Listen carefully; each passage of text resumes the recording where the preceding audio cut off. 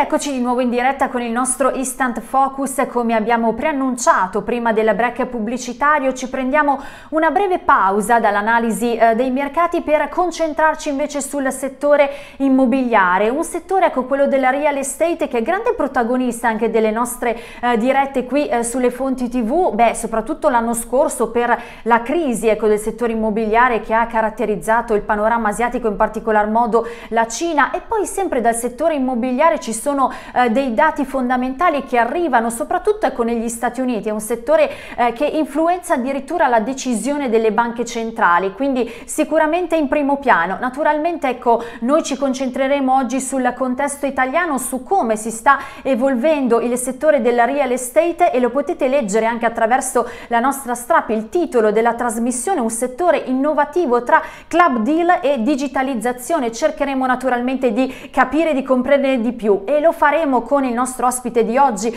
ovvero Alessandro Gatti che è presidente di Rialta e fondatore della startup Ubic. Eh, Alessandro, benvenuto, grazie naturalmente per essere qui con noi sulle fonti. Grazie, grazie a tutti voi e un ben trovato ai telespettatori. Bene, allora Alessandro, eh, io stessa ecco, sono andata un po' a informarmi su cosa voglia dire esattamente club deal. Ecco, i club deal sono degli strumenti finanziari, partiamo proprio dalla definizione, che consentono a investitori privati di alto profilo di accedere ad opportunità di investimento alle quali non avrebbero accesso singolarmente o per le quali desiderano una esposizione limitata. Ecco, partendo da questa definizione di club deal, come si associa tutto questo poi al contesto contesto invece dell'immobiliare, del real estate?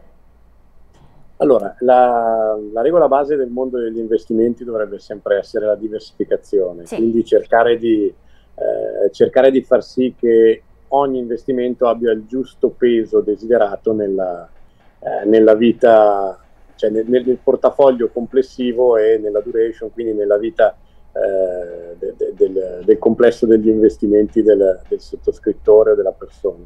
Quindi il partecipare a volte a, eh, a, investimenti di sviluppo immobiliare, eh, siano essi dei frazionamenti molto brevi, quindi operazioni nel, nell'arco dell'anno, oppure dei, dei, proprio delle costruzioni cielo-terra, quindi almeno eh, di, di, un paio d'anni, eh, a, come dire, per un singolo investitore, eh, se devono avere questi investimenti un peso desiderato che potrebbe essere del 10 o del 20%, poi dipende dalla dimensione, eh, non, eh, è, è, un discorso sui generis, eh, il peso dell'investimento rende impossibile alla larghissima maggioranza della, della platea degli investitori di poterlo fare come unico e poi eh, co- come unico sottoscrittore. Quindi i club, deal, i club deal che creiamo hanno proprio questo, eh, questo, come dire, eh, questo grande vantaggio. Eh, lavoriamo a contatto con molti family office e con molti private banking di alto profilo e cerchiamo di, dedichiamo una società di capitali, quindi un SRL di scopo, a uno sviluppo immobiliare e, eh, e sono spesso e volentieri parecchi milioni da investire e in questa trovano spazio diversi investitori che eh, partecipano proprio come soci sottoscrittori, quindi come soci investitori di capitale, non nella gestione, perché la gestione spetta a Realta che gestisce questa costellazione di investimenti, eh, offrendo possibilità partecipative eh, proprio con diversi orizzonti temporali, diversi rendimenti attesi, e, insomma la possibilità di mixare all'interno del portafoglio di ogni persona, ogni persona chiaramente eh, che ha un, un, monte di investimenti eh, importante, di pesare quello che è lo sviluppo immobiliare al proprio interno, eh, senza dedicare risorse eccessive rispetto a quanto è, è consigliato secondo la normale prudenza. Per, eh, per fare proprio una, un esempio chiaro per, sì. per comprenderci, allora, eh, la realtà effettua investimenti immobiliari, quindi sviluppo residenziale immobiliare in conto proprio, oppure con capitali di terzi o mischiando, cioè con capitali di terzi e eh, capitali propri nello, nello, stesso investimento.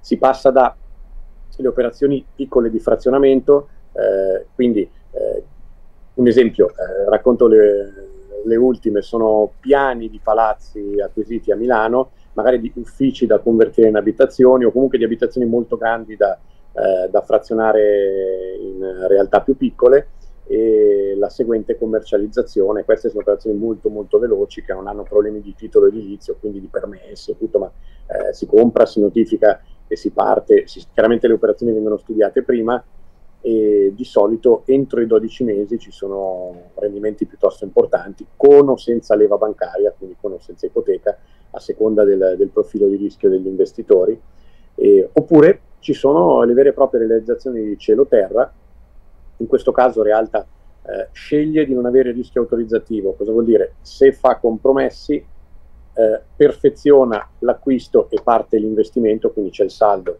e l'inizio dell'investimento, eh, solo quando la concessione edilizia viene ritirata. Quindi si parla di 18 mesi, 20 mesi, 22 mesi al massimo per la costruzione e la vendita, con strumenti, vendita con strumenti molto innovativi di costruzioni altrettanto innovative, quindi eh, tipicamente per essere molto assorbite, assorbite molto in fretta dal mercato, eh, parliamo delle cosiddette smart homes, quindi con un mhm. minimo di domotica, eh, un, un livello di come dire, di efficienza energetica molto alto, eh, quello che cerca il pubblico delle, delle grandi città oggi, perché eh, altra cosa, per avere una rotazione molto elevata degli investimenti eh, bisogna puntare su, noi abbiamo un algoritmo eh, studiato internamente che seleziona grandi città, quindi mercati liquidi, quindi almeno i capoluoghi di provincia o, o, oppure località di vacanza molto gettonate. Eh sì, comunque ecco. aree dove c'è, dove c'è, una grande differenza tra eh, offerta di alto livello e, eh, e, domanda, quindi la domanda deve essere un multiplo dell'offerta, eh, questo lo studiamo attraverso vari algoritmi che pescano dati da, dai portali, da banche, date, banche dati, mm-hmm. poi io mm-hmm. sono il, il vicepresidente del, del gruppo Gabetti, che è il più grosso provider di servizi in Italia, è quotata da, da una vita, da decenni e decenni, un'azienda marchio storico che ha più di 70 anni. Eh, quindi diciamo che ne, all'interno della costellazione di, eh, di, aziende partecipate o controllate dalla, dal mio gruppo che si chiama FG Invest abbiamo in house veramente la possibilità di confrontarci con i migliori professionisti.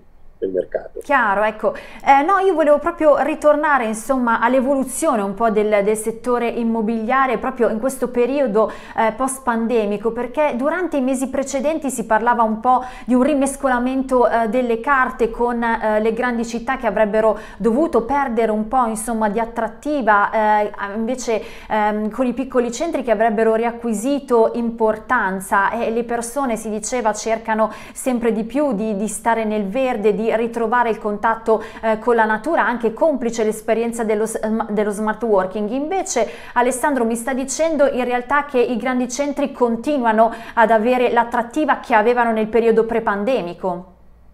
Allora, diciamo che le persone sono diventate molto più esigenti mm. eh, per quanto riguarda la propria abitazione, quindi c'è eh, la ricerca di terrazzi, ad esempio, che, che sono gettonatissimi per una vita all'aria aperta, poter mangiare all'aperto con gli amici, eh, zone giorno più fruibili, eh, magari uno, uno, spazio strutturato in maniera intelligente per lo smart working, quindi che rimane un tassello eh, fondamentale dello sviluppo del mondo del lavoro. Però non, io non ho visto una vera fuga dalle grandi città, mm-hmm. quanto piuttosto la possibilità di eh, rivitalizzare aree più periferiche, parliamo ad esempio a Milano che sta creando dei veri e propri centri nuovi come Isola, eh, come City Life, che no, non sono eh, diciamo a, velocità, a, distanza di passeggio dal Duomo, eh, purché siano ben collegati. Ecco, la fortuna delle periferie, eh, con, che, come può essere delle città vicine, come Monza ad esempio vicino a Milano, che, sì.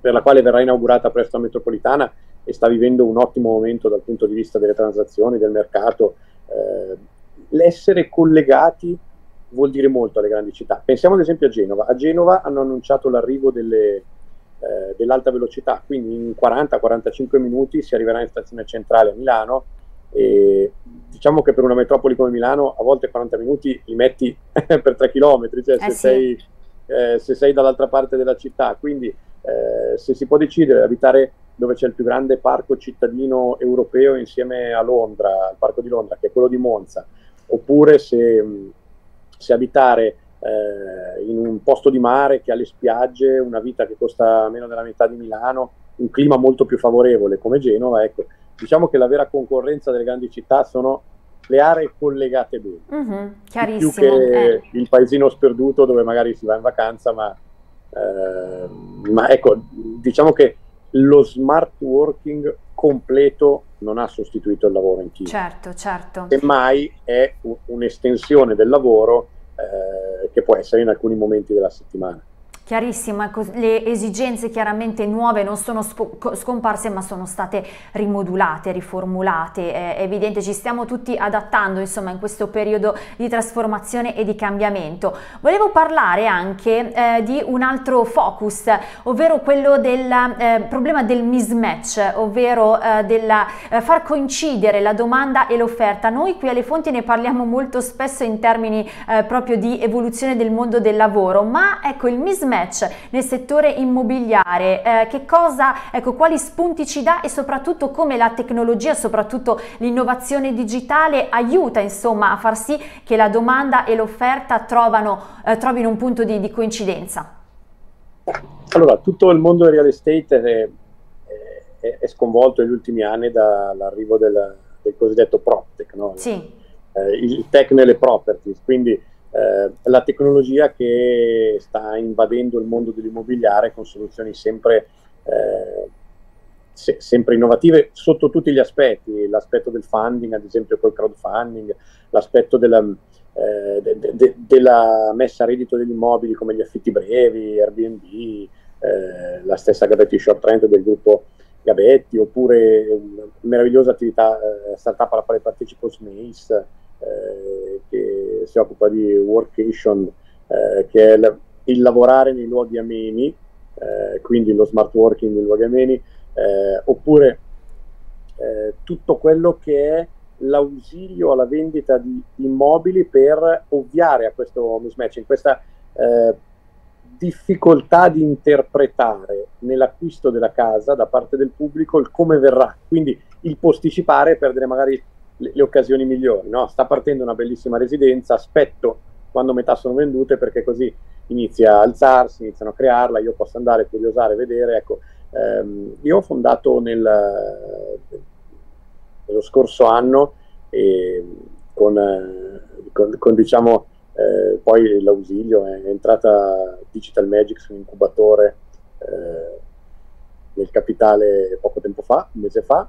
Eh, ho fondato Ubic, che è questa nuova PropTech, che è questa eh, azienda che si occupa, che è questo hub di ricerca che si occupa di eh, marketing avanzato per il real estate. Praticamente eh, che cosa fa Ubic? Quando un palazzo non è ancora nato, vende i propri servigi ai, ai developer, quindi agli, svilupp- agli, sviluppatori immobiliari, e poi sta preparando pacchetti per le agenzie immobiliari, per i portali di crowdfunding, diciamo ha molti molti interlocutori nel mondo real estate, ma che cosa fa?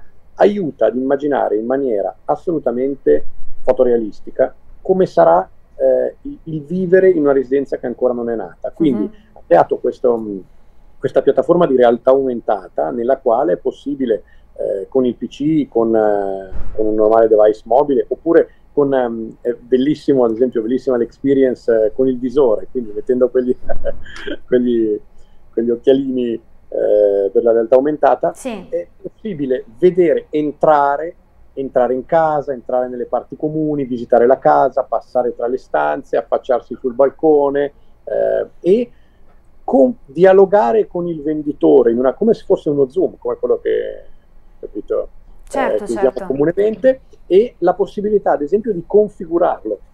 Perciò, eh, quindi vengono caricati dei, dei, render fotorealistici a 360 gradi molto particolari che consentono una, una navigazione vera e propria e davvero il poter con, semplicemente con il passaggio di un dito togliere la ceramica, mettere il parquet, cambiare il bagno, Chiaro. oppure con l'ausilio dell'intelligenza artificiale, vedere come viene redato con l'arte povera, come viene redato eh, invece in chiave più moderna eh, o più barocca, eh, questo rimuove l'incertezza. Quindi una persona può veramente avere la sensazione fisica della casa che va a acquistare e questo aiuta sia gli sviluppatori perché possono costruire avendo già venduto, quindi incassando gli acconti, ovvia, ovvia sicurezza, eh, ma soprattutto costruire su misura per il cliente, perché chi acquista prima poi eh, può partecipare diciamo, alla decisione di, di, come vengono sviluppati gli impianti, il taglio dell'abitazione. Questo è un win-win Certo, eh, certo. E eh beh sì, insomma, sta, è chiaro, sì, sì, sì, la rivoluzione digitale ha parlato appunto di eh, realtà aumentata, di intelligenza artificiale, stanno completamente rivoluzionando il vostro settore ed è ovviamente un win-win nel senso anche in eh, termini di risparmio di tempo, perché lo sappiamo, in realtà ecco quanti, eh, quante ore si perdono per visitare i vari immobili, invece qui come dice lei basta mettere un, un dispositivo, collegarsi e si ha un'esperienza esperienza realistica, soprattutto ecco, restando comodamente magari seduti dal divano di casa propria senza doversi spostare, quindi è, questo è una, veramente un grande vantaggio eh, per i futuri acquirenti. Esatto, esatto, esatto, rimuove l'incertezza. Sì. Quindi tu, la tecnologia diventa veramente utile quando consente di rimuovere l'incertezza, di, di evitare problemi. Quindi, eh, come, come, in tutti i business, no? tutto quello che soddisfa un bisogno in questo caso il bisogno di non sbagliare l'acquisto eh, veramente ha, il suo spazio nel mercato. E, è molto molto divertente, ne vedremo delle belle. Eh, beh, certo, certo, eh, sì, sì, sì, si apre un nuovo scenario, una nuova possibilità, proprio una, un nuovo mondo. Ecco, abbiamo parlato naturalmente di rivoluzione eh, digitale, di creatività, anche perché è un settore che implica anche una base di, di creatività. Eh, un'ultima domanda le faccio, ecco, se dovesse indicare un'altra parola chiave per comprendere lo sviluppo del real estate nel presente ma soprattutto nel futuro, quale indicherebbe? Allora, tecnologia mm-hmm. e sostenibilità. sostenibilità. Sì, eh, veramente la, le parole chiave sono queste, cioè tutto l'apparato degli operatori del real estate deve digitalizzarsi e dotarsi di tecnologie adeguate perché questo migliora la customer experience in acquisto, ma migliora anche dopo l'utilizzo della casa, ad esempio parlavamo della domotica sì. eh, e, e, i consumi. Sostenibilità perché la sostenibilità in senso allargato, cioè la qualità della vita degli spazi comuni, quindi in determinati segmenti di mercato, in determinate città, avere eh, un, una zona ad esempio per ricevere le persone, eh, per fare smart working o la palestra o comunque degli spazi verdi ben, ben organizzati. Eh, ripeto, la, la, la, la tecnologia deve essere al servizio nel real estate come negli altri campi per migliorare la vita delle persone. Certo, della cioè, qualità della vita, chiarissimo. E poi ovviamente sostenibilità, immagino anche energetica, che riguarda proprio ah, insomma, le, case, le case del futuro. Abbiamo visto quanto il problema dell'energia abbia influenzato proprio in realtà tutta Europa eh, in, in, questi mesi proprio a causa eh, della, eh, del conflitto internazionale, quindi anche insomma una sostenibilità da quel punto di vista.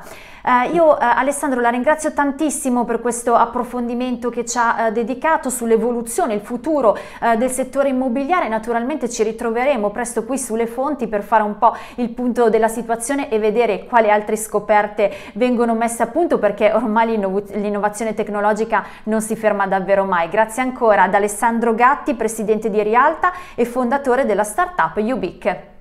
Grazie a tutti voi. Grazie, a presto.